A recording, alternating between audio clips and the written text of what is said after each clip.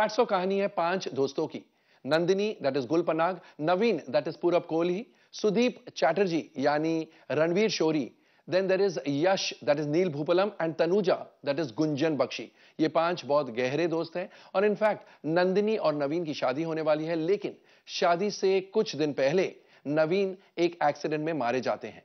Naturally उनके सारे दोस्त और क्रेस्ट फॉलन उन्हें बहुत दुख होता है, खासकर नंदिनी को, क्योंकि Nandini had loved Naveen and she was to get married to Naveen जब नवीन का सोल ऊपर पहुँचता है, तब नवीन को रियलाइज़ होता है कि उनकी मौत गलती से हो गई है। एक्चुअली मौत होनी चाहिए थी सुदीप चैटर्जी की, उन्हें तो गलती से वहाँ लाया गया है। ऑब्वियसली ही रिवोल्ट्स बिकॉज़ उन्हें नंदिनी से बेहद प्यार है और वो नंदिनी के बगैर नहीं रह सकते हैं।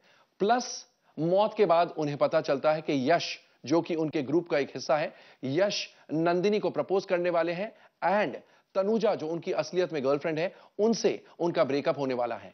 और नंदिनी को प्रपोज करेंगे यह सोचकर नवीन को ऐसे लगता है कि उन्हें वापस ज़मीन पर आना चाहिए because he can't bear the prospect कि नंदिनी की शादी उनके ही दोस्त यश से हो जाएगी।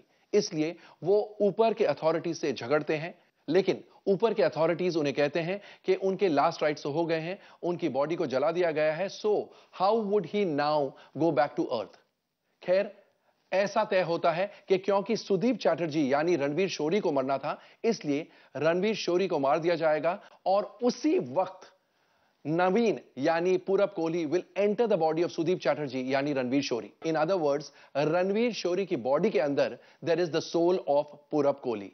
खैर, ये चार दोस्त, यश, तनुजा, सुदीप या नवीन कहिए एंड नंदिनी मिलते रहते हैं। एंड उसके बाद क्या होता है? That's what this film is all about तो क्या नंदिनी को पता चलता है कि नवीन वापस ज़मीन पर या अर्थ पर आ गए हैं? क्या किसी को भी पता चलता है कि सुदीप चैटर्जी की एक्चुअली मौत हो गई है? और जो सुदीप चैटर्जी दिखते हैं, वो सुदीप नहीं है, नवीन है। क्या नंदिनी यश से शादी करती है? क्या यश एक्चुअली प्रपोज कर पाते हैं? क्या यश और तनुजा की शादी होती है? क्या तनुजा को पता चलता है कि Yash is interested in Nandini और उनका रिएक्शन क्या होता है? और do Nandini and Naveen united matrimony सबसे पहले हम डिस्कस करेंगे इस फ़िल्म की कहानी, पटकथा और संवाद को, यानी the script the script is written by Rajat Kapoor and Saurabh Shukla it's quite a radical script actually यही कहानी अगर कॉमेडी के तौर पर बनाई जाती तो it would have been a laugh riot और निकल भी जाती। लेकिन इस फ़िल्म में चंद सीन्स है हार्डली कुछ सीन्स हैं, जिनमें एक सेक्शन ऑफ़ द ऑडियंस को हँसी आएगी या यूँ कहिए, एक सेक्शन ऑफ़ द ऑडियंस मुस्कुराएगी। बट अदरवाइज़ इस फ़िल्म में ऐसी कोई बात नहीं है कि कॉमेडी से लोगों को बहुत मज़ा आए। And that is the biggest feeling of the film क्योंकि ये कॉन्सेप्ट वाइज ही बहुत ही रेडिकल है। सबसे पहले तो ये कहने की कोशिश की गई है कि हेवन हेल ऐसा कुछ भी नहीं होता है। या तो यहाँ पर अर्थ में ज़मीन पर लोग ज़िंदा है और मरने के बाद ऊपर जाते हैं। ऊपर एक ऑफ़िस बना हुआ है और वहाँ पर गेट पास वगैरह ऐसे टर्म्स यूज़ होते हैं जिसकी वजह से कॉमेडी क्रिएट करने की कोशिश की गई है but let it be set कि ऐसे जोक्स पर हँसी नहीं आती है।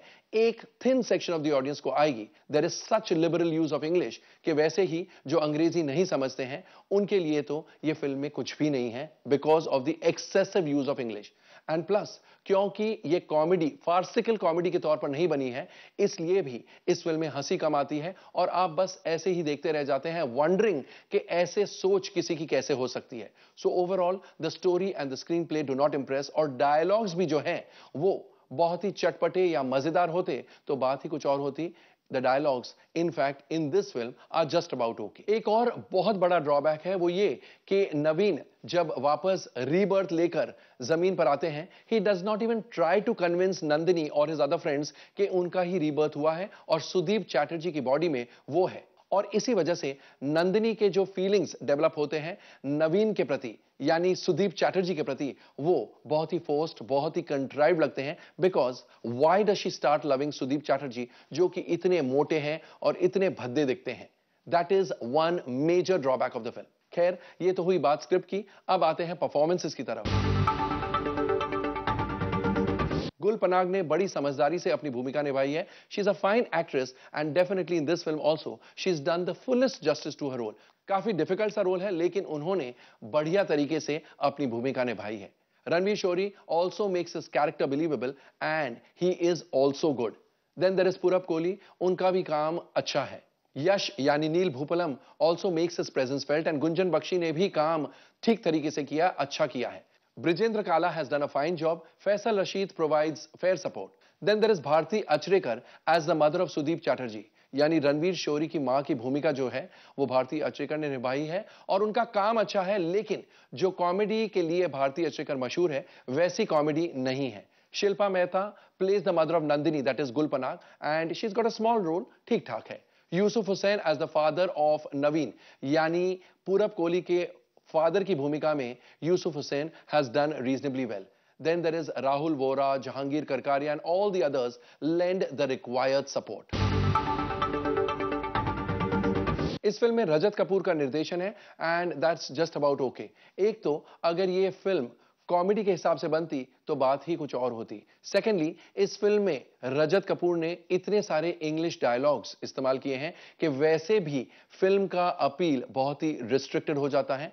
एंड अदरवाइज़ ऑल्सो कॉन्सेप्ट इतना रेडिकल है कि ये फ़िल्म कुछ ही लोगों को समझ में आएगी या कुछ ही लोगों को पसंद आएगी। Therefore his direction is just about okay Sagar Desai का संगीत है। इट्स ओके uh, okay, दो गाने।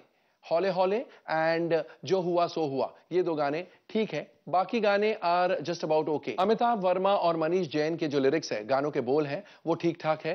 पप्पू मालू की choreography is all right then Rafey Mahmood camera work is okay sets by Vilas Panchal are reasonably all right and Suresh Pai की जो editing है, वो ठीक ठाक है। ओवरऑल फैट्सो का परफॉर्मेंस बॉक्स ऑफ़िस पर कैसा रहेगा?